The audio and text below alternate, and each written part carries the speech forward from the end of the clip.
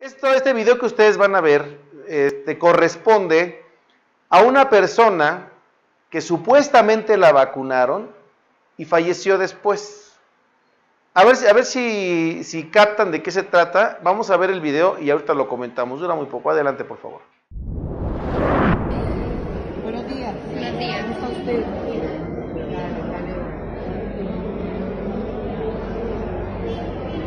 Espérate. Espérate.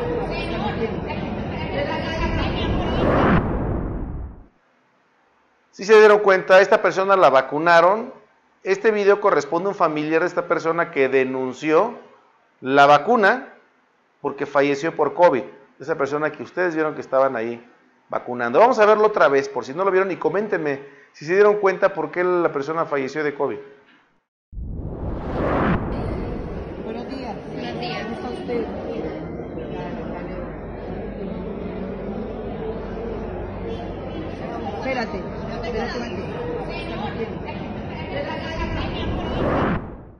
Si el video acaban de ver, se dieron cuenta, esa vacuna, o más bien esa jeringa no tenía nada. Únicamente picaron, y ahí va la recomendación. Si van con sus adultos mayores, eh, si no pueden ustedes estar con ellos, porque es lo más probable que no puedan pasar al, al momento de la vacuna, díganles que no se queden sin ver, porque a veces no es para que no nos duela, ¿no?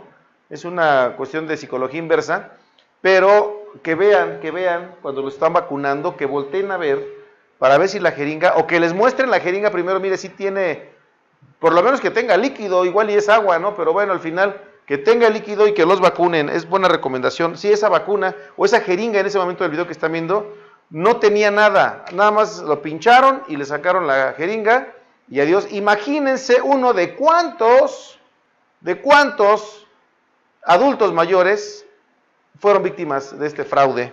Ojalá que no sea el caso de Nicolás Romero.